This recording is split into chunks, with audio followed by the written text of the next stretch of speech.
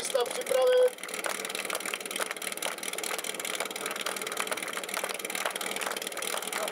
Pozor!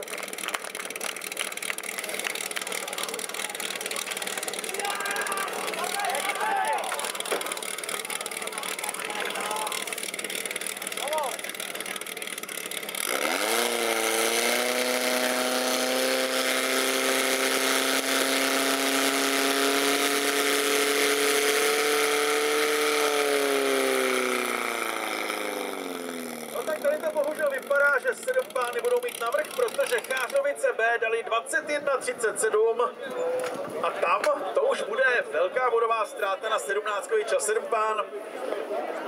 No a o útoku na Přibyšice, o tom si promluvíme až později, protože